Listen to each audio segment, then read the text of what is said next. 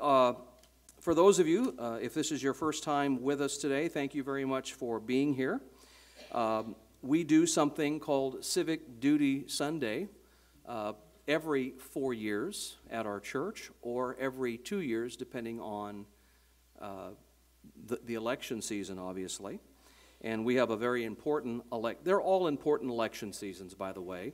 Uh, but we have an important election coming up, not only federally, but state as well as local. And one of the things I want to do this morning uh, is talk to you a little bit about, during our exhortation, what an election sermon is. And you're going to notice here on the screen a, a print up of an actual election sermon. Actually, I posted this just a few days ago. It's a sermon which was preached before His Excellency John Hancock, Governor, and His Honor Samuel Adams, and some of you are thinking, the only Samuel Adams I know. Anyway, um, unless you're an 805 guy, Lieutenant Governor, the, I'm sorry, the Honorable Council, Senate, and House of Representatives of the Commonwealth of Massachusetts on May 26, 1790, being the day of general election by Daniel Foster, pastor of the Church of New Braintree. Now, you say, why is this important to talk about? Because in our nation's 248 years, it was highly common for pastors to be invited to preach before those who are elected and those who have been elected, Amen. and just before they're seated in their state, hall, state house or even the federal house. And here is a sermon that was preached by Daniel Foster. So, again, right around the time of our nation's founding, it was very common practice for ministers to preach these election sermons. In fact, it was very common for a minister to be invited by elected officials from all the parties represented at the time to give a sermon before the newly elected government officials. The sermon cover, which I've just highlighted for you, was delivered by Reverend Daniel Foster and was preached before John Hancock, the governor of Massachusetts, and yes, ultimately that John Hancock, in front of both houses of legislature the Reverend Daniel Foster, the text that he preached from, which ironically will be the text in part that I will be preaching from next Sunday morning, is Proverbs chapter 8, verse 16, which states these words By me princes rule and nobles, even all the judges of the earth. My heart today is that would to God we had bold preachers today who would thunderously and clearly preach God's infallible word to all those who would both seek and are currently occupying higher office. Amen. And I want to say this to you our mandate from God's word to preach and to proclaim his word far outweighs any ordinance of man to the contrary. And I think it's important and, and, and, and imperative for us to understand today, in 2024, that this preacher and others like me across the nation and around the world still preach what you would consider an election year sermon. And that is what you're going to get this morning in just a few moments. If you're a visitor today, you're in for a treat, maybe in for a bit of a shock. but at the same time, Better to be shocked among friends than shocked among enemies. Amen? Brother Ron, where are you? Youngest kids, I think, are dismissed this morning, right? Youngest are dismissed. The oldest are being staying with us. And uh, let me just uh, encourage you as you're here today. Uh, if you have not voted, please do so. Uh, if you feel uncomfortable about mailing it in, then walk it in, please.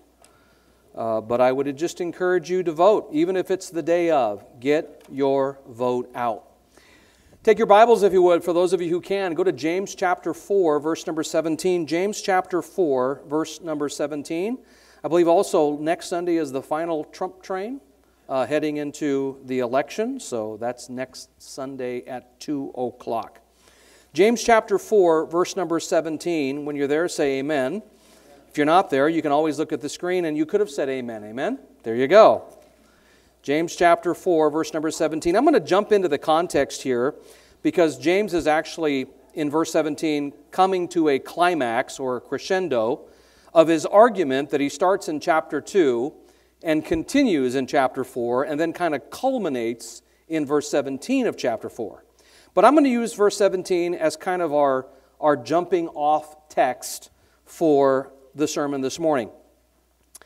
James chapter 4, verse 17 says, Therefore, to him that knoweth to do good and doeth it not, to him it is sin. In just a little over one week, voters will head to the polls and cast a vote in one of the most consequential elections in our lifetime.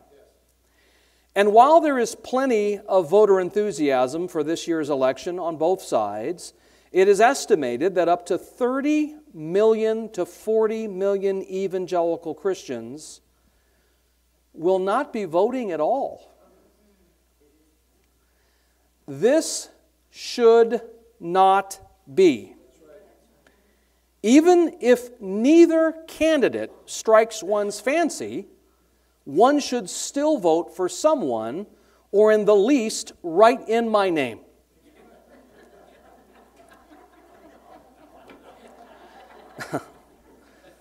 right, Mark? There you go. The question is this. The question is this. Why are 30 million plus self professed Christians staying home instead of participating in their civic duty to affect the righteous direction of the country. And I would simply posit this because many, if not all of, that, uh, of those 30 million, do not see voting as a moral mandate that each citizen must engage in. This year's election sermon for 2024 is on the topic of the moral mandate to vote. The moral mandate to vote. Let's pray. Father, we're thankful for the opportunity to join in this place, thankful for these folks who have come out to hear this election year sermon, Father, to worship you and to fellowship with one another. Father, first and foremost, if there be somebody in our midst today that says, Preacher, I don't know that if I died today that heaven would be my home.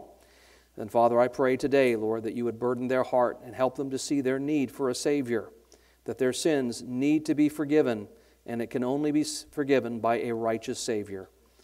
And Father, we pray that first and foremost. So then, Father, for those that are here for some guidance when it comes to the upcoming election, Father, we just pray this morning that you would help me in this message, Father, that I believe you've burdened my heart to preach, to make it clear that voting is a moral mandate. And I believe, Father, from the Word of God. We ask you, Father, that you give us clarity, for it's in Jesus Christ's name we pray, and all of God's people said. Amen. I want you to consider our text this morning here in James chapter 4, verse number 17, where James says, Therefore, to him that knoweth to do good and doeth it not, to him it is sin. Now, if I may paraphrase this verse without doing dishonor to the text, I believe this verse is saying, To him that knows what he ought to do, yet doesn't do it, to him it is sin. What we have described for us here in James chapter 4 verse 17 is something called a sin of omission. A sin of omission. Now you say, well, what is a sin of omission? I just remember my Catholic upbringing, a sin of omission, a sin of commission. Oh my gosh, what am I supposed to do? Well, this is a sin of omission. You say, well, what does that mean? Well, it is when we neglect to do what we know is right but don't do it. It's when we neglect to do what we know is right, but we don't do it. And, and frankly, can I say to you, we sin in this way every day, in every area of our lives. We sin this way in our marriages, unfortunately. We sin this way in our parenting, unfortunately. Uh, in our day to day relationships, we sin in this way, and even in business. We sin in this way this sin of omission. That is, we willfully do not do what we know we ought to be doing. Not participating in one civic duty to redirect the course of your nation, I believe, can also be seen as a sin of omission. Now you say, now, why do I say this? And what is my biblical understanding for why I would premise it that way?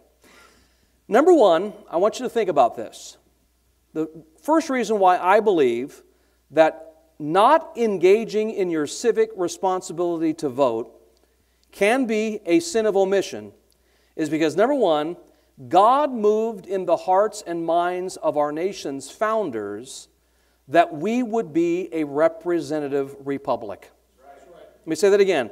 God moved, in, and I believe everything I'm about to tell you, God moved in the hearts and minds of our nation's founders that we would be a representative republic. Now, I preached a whole sermon on why we are a republic and not a democracy with Nathan Hockman sitting right there. And uh, I don't know how much of it he paid attention to, but the fact of the matter is, we are a representative republic. We are a, a, a true democracy in the sense that we are a republic, and we're not a pure democracy the way it's being defined today. Now, it's also important to understand that we are not a monarchy. That is, uh, we are not ruled by a king. Now, sometimes the president might think they're king, but they're not king. One of the things that was uh, said about one of the kings of France, uh, one of the kings of France said about George Washington when George Washington became the first president of the United States. The king of France was talking about how why would a man like Washington, this is before Washington stepped down after his term of office, the king of France said, why would a man willfully give up this whole nation with all of its riches, with all of its people, with all of its natural resources, and sit down and let someone else take their place. And the king of France said, I'm willing to bet that Washington will not acquiesce and step out of the way. Guess what? Our presidents have been doing that for 248 years, where they are elected for one term, sometimes two terms, and then they give it up and someone else comes in, whether we like that person or not. But we're not a monarchy. We're not ruled by a king. We're not a democracy where we are ruled by mob rule or majority rule. This is why it's so important that we have an electoral college and a national popular vote. Because a national popular vote should not determine the president when Wyoming and Montana and other states like that don't have the population centers that California and New York have. This is why it's so important that our founders were so driven, I believe, by providence that they believed that if majority rule was to be the rule in America, then that means that there would be huge places on the map that would have absolutely no voice at all. So we're not a democracy. We're not ruled by mob rule or majority rule. Number three, we're not an autocracy, which is the rule of one, like a dictator. We're not ruled by an autocracy. No, America was set up as a representative republic where to be a citizen is to be a governing official. Let me say that again. We are set up as a representative republic where to be a citizen of America, which is why it's so important that you become a citizen, that you are in fact a governing official. We are a government, according to the Constitution, of the people, by the people, and for the people. Amen.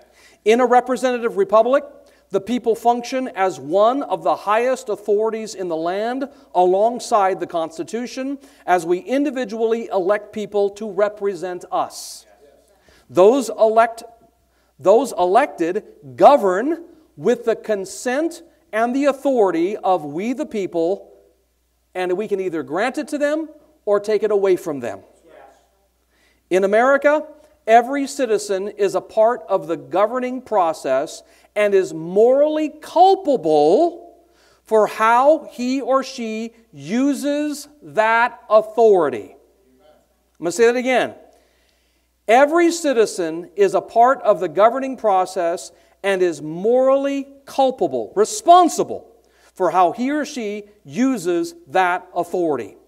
Often Americans complain about the government. I've been one of those. But we forget that we are the government. Our country's problems begin with the people in the voting booth, not the people in Washington, D.C. So, why is voting a moral imperative? Because in America, as a representative republic, each citizen is himself or herself a governing official, each with a single vote that can affect the future of so many. And when someone willfully, with knowledge and foresight of their responsibility and authority, when someone willfully abdicates this God given right, they are sinning. Because to him that knows to do good and doesn't do it, to him it is sin. I want to give you the second reason why I believe that there is a moral mandate to vote. The first is because God moved in the hearts and minds of our nation's founders that we would be a representative republic. The second reason is because we have a moral mandate to vote. What do I mean by that? What do I mean by a moral mandate to vote? I want you to look at Matthew chapter 22. Matthew chapter 22, and look at verses 36 through 40. We have a moral mandate to vote because we love our neighbor. Let me say it again. We have a moral mandate to vote because we love our neighbor. Look at Matthew chapter 22, verses 36 and following. The Bible says this But when the Pharisees had heard that he, Jesus, had put the Sadducees to silence, they were gathered together. Then one of them, which was a lawyer, uh oh, asked him a question, tempting him, and saying, Master, which is the great commandment in the law? Jesus said unto him, Thou shalt love the Lord thy God with all thy heart, with all thy soul, and with all thy mind. This is the first and great commandment. And the second is like unto it Thou shalt love thy neighbor as thyself. On these two commandments hang all the law and the prophets. Now, what in the world does this mean? Listen, not only do I want the best for me and for my family when it comes to the election, but I want the best for my neighbor. Yes. Are we okay with that? Yes. You say, wait a minute, it's me, my four, and no more. That's selfish. I am not just looking out for myself according to Christian principles, I'm also looking out for others within my power. I mean, I can't control their lives, but I'm doing my best to look out for others. Therefore, when I enter the voting booth, I must choose the party and the platform that will best move the country in a godlier and more righteous direction. Amen.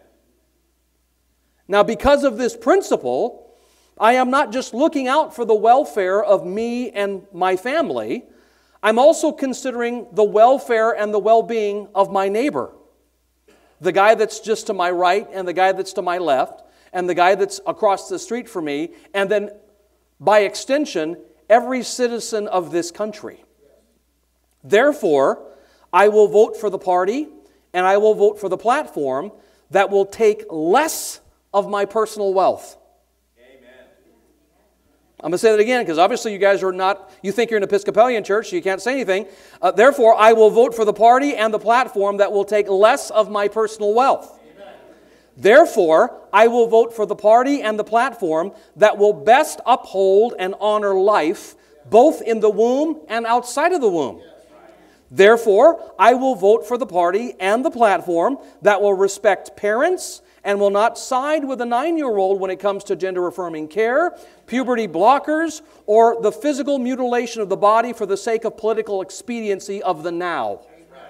Therefore, I will vote for the party and the platform that will best keep marriage between one man and one woman till death do us part. Therefore, I will vote for the party and the platform that will best keep boys out of girls' sports and out of girls' locker rooms and restrooms other than the normal ways. Therefore, I will vote for the party and the platform that will best uphold my religious liberty and not force me to go against my conscience. Now, while I could go on, I think you got my point. You see, because in each one of those areas, whether it be my pocketbook, or whether it would be life in the womb or outside of the womb, or whether it would be the respect of parents, or whether it would be the platform of marriage. I'm not only looking out for my family and myself, I'm looking out for everybody else because I think those things are better for a society. See, these things not only serve me and my family and our best interest, but they also serve the best interest of my neighbor. Whether they realize it or not, it serves their best interest. I don't understand why anybody would think that it's better for someone to take more of my money than for me to keep more of my money. I don't know why anybody would think that a bunch of bureaucrats can define marriage for me when God has set it down in stone that it's between one man and one woman. I don't understand, and, and nobody did either 10 years ago, that we would even have a debate about girls and boys in sports together. We even thought when I was in junior high, I remember one time we were playing flag football in junior high and we didn't have quite as many boys as we wanted because I was in a private school, it wasn't a very large school. And so we had a few girls and the boys were like, hmm. I don't like this. Except for this one kid, he liked this other girl. But, but other than that, the fact of the matter is, we didn't like that. We wanted to play flag football, so we wanted to play with boys. These things not only serve me and my family's best interest, but also the best interest of my neighbor. I have a moral mandate to vote because I not only want what's best for me and my household, I want what is best for my neighbor as well. And when we willfully and with complete foreknowledge abdicate that God given right, we are sinning. Because the Bible says, To him that knoweth to do good and doeth it not, to him it is sin. Now, I want to offer an objection because there's always somebody that wants to be a contrarian during sermons like this. Not to suggest that anybody in this room would be a contrarian to anything I would have to say. But it's very possible that someone is sitting there chomping at the bit, going, Well, I don't really want to vote for the lesser of two evils. And I've used this argument, don't get me wrong, I've said this in the past, and I'm sure some of you have too. And maybe you're framing the election today between the two top tier candidates of a lesser of two evils argument. Now, some would argue that Christians should never vote for the lesser of two evils because it's still evil. Look up here, look up here. Okay, so if you're 100% evil and if you're 90% evil, you're still bad. Amen? All right? So, therefore, I must abstain from voting altogether. At least that's how the logic goes. However, the framing of this objection is unfair. The framing of this objection is unfair. When I am asked the question, can Christians vote for the lesser of two evils? The framing of that question demands the answer no. Because obviously, as a Christian, I shouldn't vote for any evil, whether it's most or less than. But I do not believe the question is helpful. Not even in this election between the two candidates we have against each other now. Think about it for a moment. When the Apostle Paul wrote Romans 13, which is all about government's role to us and our responsibility to government, Romans 13, which speaks of the role and function of government, Paul wrote this entire treatise on government amidst the tyrannical Roman Empire of his day that sought to kill him and other Christians. Now, think about that. We read Romans 13 and we think, well, he's talking about 2024. No, he's talking about his day, and he's talking about the emperor that was Roman his day. And I, I promise you, you'd want Biden over Nero. You'd want the worst president we've ever had in our nation over Nero. Nero was bad. Last time I checked, no president that I'm aware of has doused you in kerosene and lit you on fire in their garden. Last time I checked. And so when Paul said that we're supposed to have a responsibility to those elected officials, he was writing during a time when the Roman Empire was tyrannical and was specifically targeting believers. So, here's what I would say. If Paul could both write and encourage believers in his day to implement good amid the imperfections of the Roman government, why are we and our government any different today? The great Francis Schaeffer, I posted this the other day, the great Francis Schaeffer said this quote, If we demand perfection or nothing in any area of life, we will always get nothing. I have pastor friends that have told me they are not going to vote for anybody. I'm like, you're not even going to write me in? I mean, not even me. I mean, your wife's name, somebody's name. I mean, why aren't you going to do something? And believe it or not, uh, these people are actually preaching that from the pulpit. Can I say something to you? Some of those congregations follow me on Facebook. And some of them know my number and will text me and say, I understand what he's saying, but I know who I'm voting for. Or at least I'm voting. Can I say something to you? I, I think it's, in my opinion, this is just my opinion, I, I don't think any pastor should ever come behind the pulpit and say, you should never vote. I think that is cowardice. I think that is not serving the congregation and is not allowing them to think for themselves and to use the tools that God has given you. So the great Francis Schaeffer said if we demand perfection or nothing in any area of life, we will always get nothing. In short, it is impossible and terribly cruel to demand perfection from our fellow sinners. If we demand a perfect candidate, which by the way, we don't have, we never have, if we demand a perfect candidate and a perfect party, then we will get nothing every time if we sit it out every time. We are not looking for a political savior, but we are looking for the person who will wield the sword of the state with the most justice. So, in light of this reality, we must reframe our expectations. We are not looking for the lesser of the two evils. Rather, we are looking for the most righteous option. Let me say that again. We're not looking for the lesser of two evils. Rather, we are looking for the most righteous option. Isn't it amazing? Just reframing the, the, the question changes the perspective. While the GOP, the grand old party, has many imperfections and problems, they are the more righteous option on virtually every major political issue of our day. And you know what's funny? If I preached this sermon 30 years ago, I wouldn't have to say half the things I'm saying because we weren't fighting some of the battles 30 years ago that we're fighting today. We didn't have to talk about child mutilation 30 years ago, 20 years ago, 22 years of our history at Freedom's Way. I never preached a sermon on parents not having the right to say no to their nine year old about whether or not they think they're Barbie or Ken right? I mean, that's ludicrous. We would have never thought about that 22 years ago.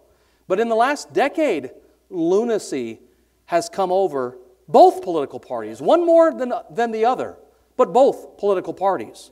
When we frame our political dilemma in this way, as a search for the most righteous option, it frees us from the unrealistic expectations and allows us a clearer path forward.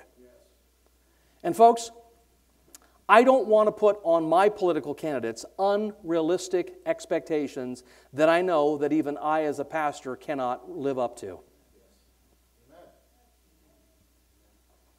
And it's amazing that we're Christians, many of us are Christians, and we'll say, well, we believe the Lord Jesus Christ is my Savior, but then we demand more of our politicians than we do yourself. Yeah. Folks, can I say something to you? Politicians are going to fail us. Not every politician is going to make us feel like, hmm, um, yeah, I'm always going to agree. I don't always agree with every politician, but I know one thing I know which of the two on the top are the more righteous option. Let me summarize it by saying this Christian, you have a moral imperative to vote in this election and, frankly, in every election hereafter. Why? Because to him that knoweth to do good and doeth it not, to him it is sin. You are not only thinking about you and your family, but you are also looking out for your neighbor because what's, what's good for your pocketbook is good for their pocketbook. What's good for the unborn child in your family is good for their unborn child in their family. In light of all you know this morning, in light of the fact that we are the government, that we are the government, and our individual vote is crucial, and yet you willfully refuse to do what you know is right, that is sin. And may God's will be brought about through your free will to do what you know is right. Let me say that one more time. There's no contradiction here. May God's will be brought about through your free will to do what you know is right. You say, wait a minute, wait a minute. I heard a pastor tell me that it doesn't matter if I vote or not, God's, gonna, God's already got an outcome. Can I say something to you? That's called fatalism. You know what fatalism is? Everything is just fatalistically determined. So, if that's the case, I guess God's the cause of abortion. Are we good? God's the cause of murder, chaos, and all. Look up here. I'm not a fatalist. I don't think that God has fatalistically, fatalistically determined these things. I believe that He has given us something called choice. Amen. You know what's interesting? I'll close with this illustration. And I, I could use any illustration from the Bible, but this is the one that pops to mind right now. God could have just picked up Jonah and placed him in Nineveh. Like this God takes his giant hand, puts it down on Jonah's beanie head, picks him up, skips the whale, and puts him down and says, You're going to preach to those Ninevites whether you like it or not. But instead, he allows Jonah to go through this human haul of a ship, and he even allows other people to kind of get in on it too. And then ultimately prepares a great fish and swallows up Jonah. You say, well, wait a minute. But God ultimately gets what he wants. No, you're right. God ultimately gets what he wants, but guess what? That's because you line up with Him. Amen. You line up with Him. He doesn't line up with you. Right. You line up with Him. He, God, is the eternal plumb line. Amen. You want to be plumb? You get in line with Him. Amen. If you want to be off balance, then do your own stinking thing every time, and you won't be plumb. Now, folks, God is not going to make you vote. And I'm not going to make you vote. But He's given you a choice in a country where He gave you some founding fathers that at least had a heart towards the God of the Bible and allowed God to use them to give us something here called the great United States of America. And it's up to remnant believers and remnant individuals to keep this experiment alive. And if it's not you, then who? That's right. That's right. May God's will be accomplished on November 5th through your free will choice. Our gracious Father, we thank you for the opportunity this morning to look to your word. And Father, we ask you now, as we, Father, crescendo our service this morning, Father, I pray that everybody in this room is burdened in their heart. Lord, if they haven't voted yet, I pray they will. And Lord, do it soon. Don't set it aside. Father, do it. And Father, whether they choose to mail that in or whether they want to take it in or whether they want to vote on the day of, I, by all means, Lord, I just pray you'd burden their heart to vote. And Father, help us also to realize that if we put our faith and trust in any one other than you, we will always be discouraged and let down. Even, I'll be honest, Lord, in my walk with you, I've let you down many times, but Father, sometimes I think you've let me down, but I know in retrospect you didn't. But Lord, we need to put our faith and trust in, in you and not necessarily in elected officials. But Father, at the same time, we want to elect the official that is going to best represent and bring us closer to righteousness. And Father, that is what we need as a nation. The current trajectory, the current scientific analysis, the current trajectory of our nation is not healthy. Father, we need a, a stemming of that. That can only happen if everybody, including the 30 million evangelicals who say they're Christians but yet are going to sit this out, Father, burden and chastise their heart to get out there and vote. And Father, we ask you today, Father, for your will to be accomplished through our free will effort. For it's in Jesus Christ's name. Let's run our feet with our heads bowed and our eyes closed. If you can stand this morning. If God's touched your heart today, maybe you'd like to come. Maybe you want to pray. Maybe you want to pray for your country. Maybe you want to pray for the outcome of the election. But at the same time, using last Sunday's sermon as a barometer, you want to pray specifically, but you also want to pray for God's will. As Brother Sherlock plays, you take this time.